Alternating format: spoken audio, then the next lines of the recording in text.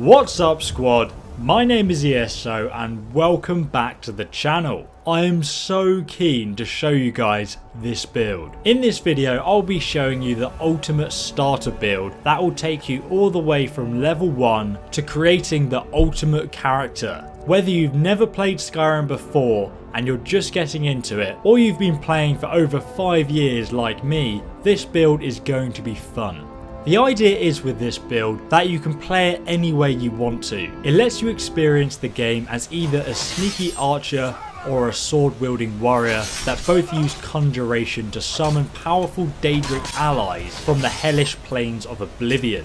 The build actually works really well on Master and Legendary difficulty, for a number of reasons I'll explain later. After you finish this guide though, you'll have a full enchanted set of Daedric armor and weapons, and you'll also have three followers who have fully enchanted Daedric armor and weapons too. I'm going for the ultimate army of Oblivion theme here, but you also have the option of having an army of Atronachs with you as well. Like I said, the choice is completely up to you. But what you'll find is that this build has a very powerful start, and also a very powerful endgame as well. Now I'm going to go over the basics of this build as you level up and what order you want to obtain all the weapons and armor that you're going to be using. I highly recommend that you subscribe to the channel and also favourite the build so you can find it again easily because this build is going to take a few hours to do.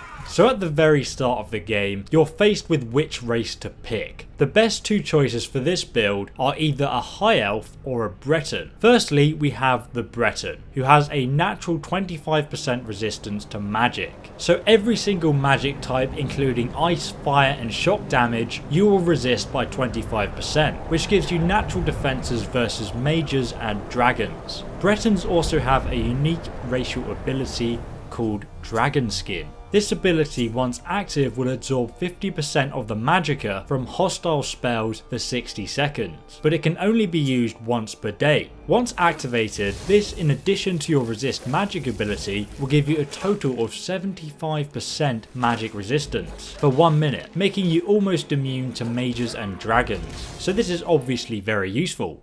The next race choice, which I personally will be using, is the High Elf. Firstly, they start the game with plus 50 extra magicka, which we need as a resource to cast our spells. Now, usually because you can only add plus 10 points of magicka per level, that pretty much puts you 5 levels ahead at level 1. Secondly though, the High Elf also has a unique power called Highborn. Once activated, this will make you regenerate magicka 25 times faster for 60 seconds. But it can only be used once a day. This pretty much gives you tons of resources to sling spells out everywhere for one minute. And even though both of these racial powers can only be used once a day, you can actually just wait 24 hours in game after a battle and that will reset your power again ready to use for the next battle. So once you've picked your race, let's talk about the start of the game. If you have not already, I highly suggest you follow my best starter walkthrough guide. This will give you lots of early tips at the start of the game and lead you through the start of the game all the way to Whiterun, which is located here on the map. And you can also get a powerful elven sword, bow and two-handed weapon here. But after you follow that guide, the first thing you'll need to do is travel to Dragon's Reach in Whiterun, which is located here on the map. Once you're here, just head inside the keep and head over to the right. Here you will find Farengar, the court mage. You can ask him what he's selling, and you can actually then buy some new spells from him. If you follow my starter guide, you should already have enough money to buy a novice conjuration spell. If you pick the Breton as a race though, you won't need to do that. Using these spells in combat will help level up your conjuration skill, and I'll talk about the spells in a moment. But next we've got to find ourselves either a conjured bow or sword, depending on what your preference is. You can find both at level 1 though. The location of each one of them can be found down below in the description of the video. I've made a guide on how to get each one. These conjured weapons are actually the best weapons available at the very start of the game. So firstly we have the Bound Bow spell, which allows you to conjure a bow. This has a base damage of 18, so that's actually the same as having a Daedric bow at level 1. And it also fires unlimited Daedric arrows, which do another 24 damage each. so that's a total of 52 damage a shot. And Daedric weapons are among the best but hardest weapons to get in the game. And the same thing can be said for the Conjured Sword, which has a base damage of 9, but it attacks a lot faster. Both of these weapons, when you conjure them, will last for 2 minutes, and then you can just recast it to prolong the effect. Now as you level up your conjuration skill, you should get the Novice Conjuration perk. This will reduce the magicka cost of your spells, but most importantly, you should get the Mystic Binding perk. You can get this when you reach level 20 Conjuration. This will increase the power of your bound weapons even further. Your conjured bow will now do 58 damage a shot, which is even better than a Daedric bow, and your sword will do 14 damage per hit. And it's also worth noting that because the bound bow and sword both have zero weight, they actually have the fastest swing speed and the fastest draw speed in the game for a bow and a sword. And we have these straight away at level 1. As for your armour, at the start of the game, you're going to want to get full heavy orcish armour, which provides the best defense until level 20. This is very easy to get as soon as you start the game. You won't need to kill any enemies in order to obtain it, and you can actually find a guide on how to get it down in the description below. Later on though, once you level up your conjuration skill, you can get a full set of fully enchanted Daedric armour, and I've actually already made a complete guide on how to get that down in the description below. It also includes a guide on how to level up your conjuration skill really fast, but to start off just use the Orcish armour.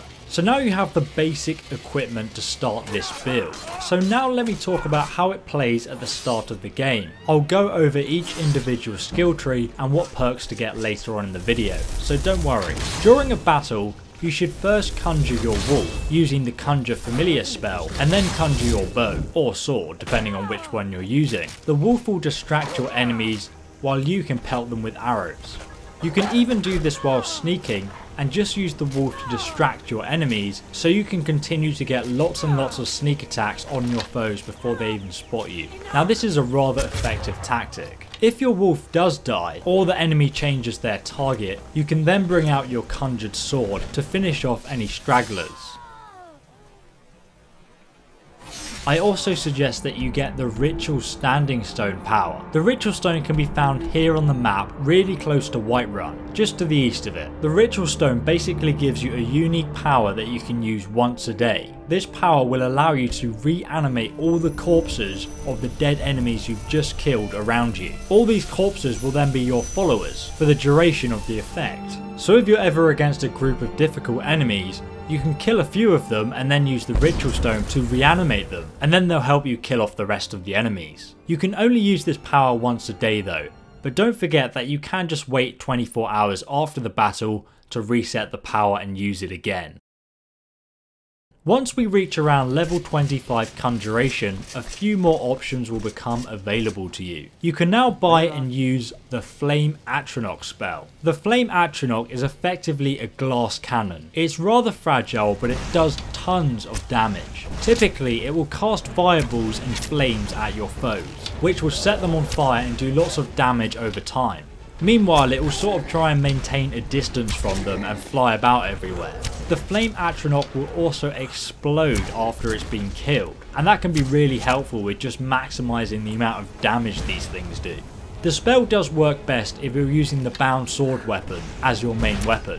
It doesn't work as well with the archer playstyle because the enemy will often focus you instead of the flame atronach. Once you reach around level 50 conjuration, you'll be able to buy and summon frost atronachs. This is the best atronach to summon for this build. It's basically like summoning a huge tank that acts as a massive distraction and just soaks up all the damage for you, while you just go around and cause more havoc with your bow by picking people off in the shadows, like some kind of assassin. If you're smart, the Frost Atronach can also be used to block tight corridors and caves, if you need to use it as a way of escape.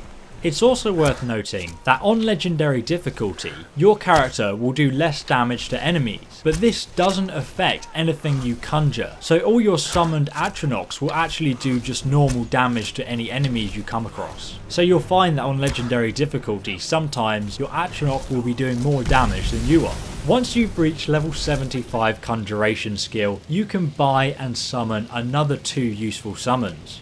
Firstly, we have the Storm Atronach. This is effectively a really tanky version of the Flame Atronach. It flies about the place casting lots of very powerful shock spells. It's pretty damn useful in some situations. It's a bit like a cross between the Frost Atronach and the Fire one, but you'll find that the Frost Atronach is a better tank, but the Storm Atronach does do more range damage than the Fire one. The second thing you'll now have access to is the option for buying and summoning a Dremora Lord. These guys are extremely tanky. They wear a full set of Daedric armor and they have tons of health. They also use enchanted Daedric weapons and are actually able to output tons of damage while also tanking lots of damage for you themselves. They are absolutely insane and they're kind of like a combination about the best things we want. But currently, we can only use all of our summons for 60 seconds, so let's take another look at the Conjuration skill tree to fix that. Obviously, as you level up your Conjuration skill, you'll want to get the Novice, then the Apprentice, then the Adept, then the Expert, and finally the Master Conjuration levels. This will allow you to summon each rank of the Conjuration spells for half the amount of Magicka it would usually cost you. This is definitely going to be a must for Conjuration guys. So after you get the Mystic Binding perk I mentioned earlier, the next perk to get is the Dual Casting perk. It will allow you to dual cast your Atronachs. What this does is makes them last for 2 minutes instead of 1, doubles the length of time they exist for, at the cost of a bit more magicka. Next we're going to invest just one perk point in the summoner perk. This allows you to summon twice as far away. Now this can be very helpful if you're trying to remain hidden while also conjuring a distraction, because you can conjure it further away from yourself.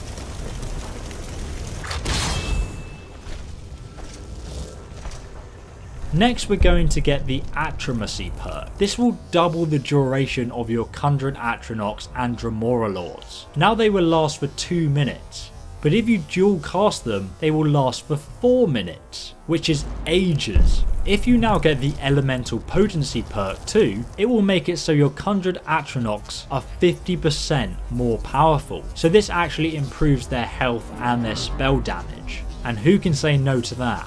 Most importantly though, at level 100 Conjuration, you can get the Twin Souls perk. This perk is amazing as it allows you to summon two Atronachs or Dremora Lords at once. So now you can literally have two Dremora Lords following you around. Lastly, we have the master level conjuration spells. Now to actually obtain these spells, you must first do a quest, and I'll link a guide for that quest down below in the description on how to get the master level conjuration spells. These spells basically allow you to permanently summon an Atronach or a Thrall, so they'll actually be a permanent follower and they'll adventure all the way around Skyrim with you until they die. And you can obviously have two of them because you should also have the Twin Souls perk.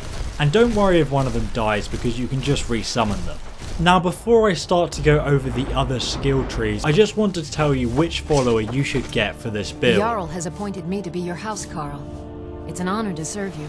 I highly suggest using Lydia as she makes for an absolutely fantastic tank and she also levels with you up to level 50 which is past what this build needs to be anyway. She has level 100 heavy armor and one-handed skill so she's absolutely perfect. Many a Skyrim player has fallen in love with her pixelated eyes, and she'll also carry all of our stuff for us, and she'll tank everything for you too. She just generally makes the game easier. You will also remember that earlier in the video, I told you to watch my guide on how to get full enchanted Daedric armor and weapons. Make sure you also do the same method for Lydia as well. Then you'll have a total of 3 followers including your summons. All 4 of you will just look like a squad of Daedra from the very planes of Oblivion themselves. I just love the roleplay aspect of what that looks like and I hope you do too. Now the next skills we must go over is the one-handed skill, the archery skill and the heavy armor skill trees. I suggest focusing on either archery or one-handed. This will ensure that you always have one solid damage output. Do not spread your perk points too thinly. Firstly, let's look at the archery skill tree. You're going to want to invest 5 perk points into the overdraw perk. As you level up your archery skill, this will give you plus 20% damage each rank. It's pretty much the bread and butter of any archery build. At max rank, it will give you an additional 100% damage boost, so your bow will now do double damage. Make sure you get this perk at every single opportunity. Next we're going to get the Eagle Eye perk. This will allow you to press the block button while aiming your bow and it will actually zoom in so you can get a better look at what you're aiming at. It makes those tricky shots a lot easier so this skill is very useful. You can also then get the steady hand perk too which will actually slow time while you're zoomed in. At rank 2 it will slow time by 50%. This allows you more thinking time and more time to aim. Next we're going to grab the power shot perk. This will make your arrows stagger opponents 50% of the time. This is a very very useful ability and you can actually time your shots correctly to stagger your opponents repeatedly. Just fire an arrow at them, wait until the stagger animation has finished and then fire another one and do the exact same thing again and again and they won't even be able to fight back. The next perk we need to grab is the Quick Shot perk. This perk lets you draw your bow 30% faster, and this makes a huge difference to your damage output, allowing you to get off even more sneak attacks, and just generally deal more damage. After that, we'll want to get the Bullseye perk. This gives you a 15% chance to paralyze your enemies. When they're paralyzed, they literally can't do anything to you, so you can just proceed to smash their face in with your summoned creature by your side. On the other side of the skill tree, we have the critical shot perk. This perk has three ranks. At the third rank, it will give you a 20% chance to critical hit. When you crit any enemy, it will do 50% more damage. So obviously, the more damage, the better. This will also stack with your sneak attacks, if you're playing a sneaky character.